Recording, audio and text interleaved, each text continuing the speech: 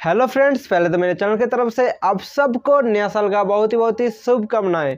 So friend मैं आज इस वीडियो में राइजन 5000 सीरीज़ का जो ए लॉन्च हुआ है, उनमें से राइजन 7 की 5700G के बारे में बात करेंगे। ये प्रोसेसर का स्पेसिफिकेशन कितना होता है और इस प्रोसेसर में आप अगर गेम खेलना चाह रहे हो तो आप कितने एफ़ तक गेम इस प्रोसेसर में खेल सकते हो? और अगर आप वीडियो एडिट भी करना चाह रहे हो तो इस प्रोसेसर में आप कौन सा लेवल में वीडियो एडिट भी कर पाओगी और सारे कुछ इसे डिटेल्स में बात करेंगे। और साथ में आपको दिख जाएगी राइजन 55600G और राइजन 75700G के गेमिंग टेस्ट तो दोनों में कंपैरिजन भी करेंगे। और फ्रेंड मैं इस वीडियो में जस्ट 50 लाइक एक्सपेक्ट कर रहा हूँ आप लोगों से। मुझे पता है आप ज़रूर ये 50 लाइक कंप्लीट कर दोगे। तो वीडियो बहुत ही इंटरेस्टिंग होने वाले है तो चलिए वीडियो को शुरू करते हैं। फ्रेंड्स थोड़ा रुकिए रुकिए। मुझे कुछ लोग कमेंट करके कह रहा था कि ये जो पीछे कंप्यूटर देख रहे हो ये बिल्कुल फेक है। मतलब ये रियल नहीं है। क्या भाई क्या क्या हो रहा है ये सब? कौन है ये लोग? वो जो लोग कमेंट किया था बिल्कुल ही सही है। ये फेक ही है देखो। ये फेक है। ये जस्ट एक ग्रीन स्क्रीन है और कुछ नहीं। कैसा लगा मेरा मज़ाक? फ्रेंड्स रियलिटी यही है कि मेरे पास यही एक छोटा सा कंप्यूटर है। ये स्क्रीन में आप देख सकते हो। फ्रेंड्स, अगर आप सच में चाहते हो कि मेरे पीछे जो कंप्यूटर है, ये सच में हो सके तो इसमें मैं कोई भी टास्क कंप्लीट करके आपको दिखा सकता हूँ, कुछ भी आपको इधर चला के दिखा सकता हूँ। तो ऐसा आप चाहते हो तो आपको थोड़ा सा सपोर्ट करना पड़ेगा मेरे चैनल को। तो इधर आपको ज़्यादा कुछ नहीं करना पड़ेगा, आपको जस्ट मेरे चैनल को सब्सक्राइब कर देना है और साइड में बेल आइकन को भी प्रेस कर देना है।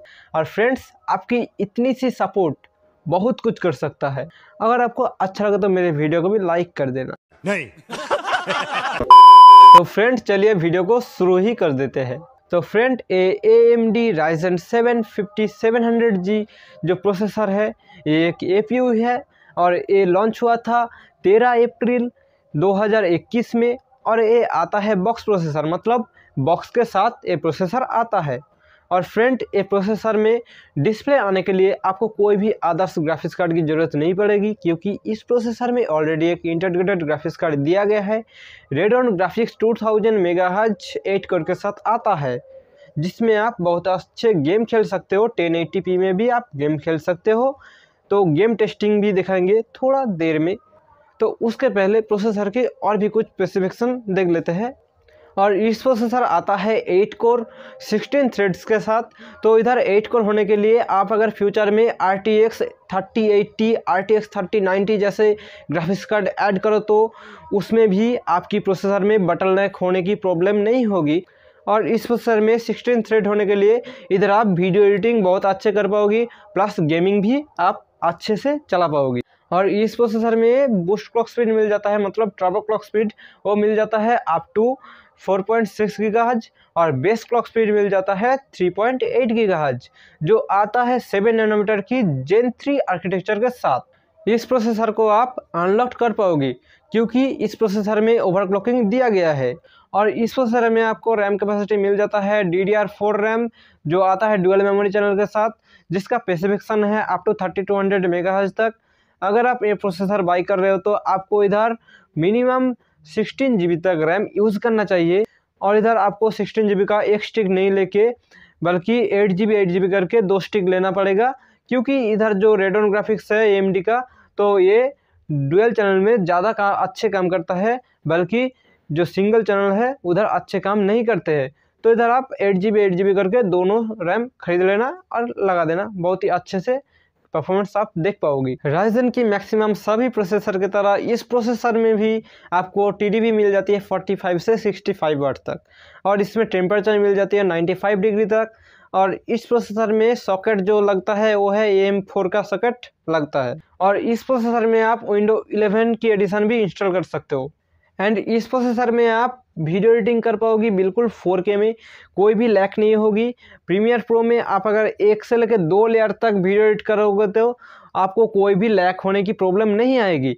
बट आप अगर तीन से लेकर चार लेयर तक वीडियो एडिट करोगी और बिना किसी ग्राफिक्स कार्ड के तो इधर आपको थोड़ा थोड़ा लैक मिल जाएगी।